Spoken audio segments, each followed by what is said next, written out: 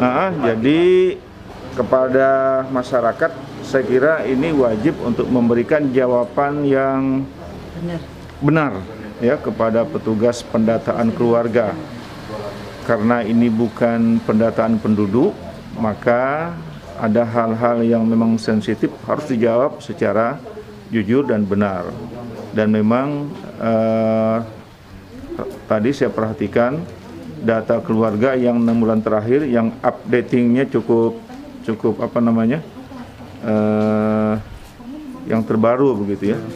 Yang kedua ya barangkali tetap keterlibatan nanti aparat pemerintah di bawah seperti Kades, RT meyakinkan warganya untuk terus karena memang eh, ini paling tidak menjadikan data base tentang keluarga Indonesia.